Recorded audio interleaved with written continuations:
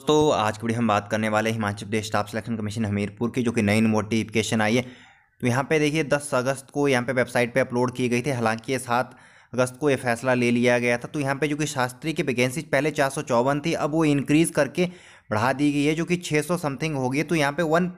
Forty nine और vacancy इसमें add की गई है, जो कि यहाँ पे नोटिफिकेशन आठ सौ तेरह पोस्ट कोड शास्त्री की है। तो यहाँ पे देखिए, एडवर्टाइजमेंट नंबर तो यहाँ पे मैं आपको बता देता हूँ, जो कि दिव्य हिमाचल न्यूज़पेपर यहाँ पे हिंदुस्तान टाइम्स में पब्लिश हुई थी।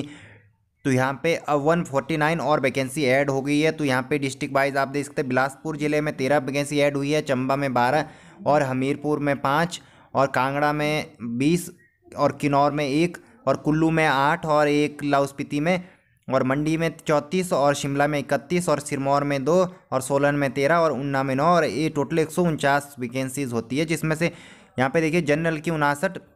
ई डब्ल्यू एस की बीस और जनरल फ्रीडम फाइटर की दो और छब्बीस एस सी ओपन की और S C B P L की पाँच और एस सी फ्रीडम फाइटर की ज़ीरो और एस टी ओपन की यहाँ पे छः और S T B P L की एक और ओ बी सी ओपन की छब्बीस और O B C B P L की चार और यहाँ पे टोटल एक सौ उनचास वैकेंसीज होती जो कि इंक्रीज़ हुई है। पोस्ट कोड आठ सौ तेरह शास्त्री की जो कि वैकेंसीज़ है। तो यहाँ पे देखिए एडवर्टाइजमेंट नंबर छत्तीस दो दो हज़ार बीस। आठ छः दो हज़ार बीस इन्फॉर्मेशन आल दी कंसर्न तो अठारह छः दो हज़ार बीस तो यहाँ पे बताया जा रहा है जो कि नोटिफिकेशन यहाँ पे पब्लिश हुई थी।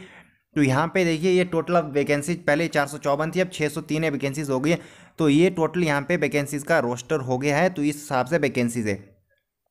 तो यहाँ पे जिला वाइज भी आप देख सकते हैं तो जनरल ओपन की बात करूँ तो मैं यहाँ पे 219 वैकेंसीज निकली है शास्त्री की इस बार। और ई e की चौहत्तर है 74 और जनरल फ्रीडम फाइटर की आठ और एससी ओपन की 118 और एस सी बी की बाईस और एस सी फ्रीडम फाइटर की दो और एस टी ओपन की चौंतीस और एस टी बी की ग्यारह और एस टी फ्रीडम फाइटर की एक और ओ बी सी ओपन की यहाँ पे अठारह और O B C freedom fighter की एक। टोटल छः सौ तीन ये वैकेंसीज होती है। तो यहाँ पे आप देख सकते हैं, जिला वाइज भी देख सकते हैं हम कौन कौन से जिला में कितनी वैकेंसीज है। Are other terms and condition remain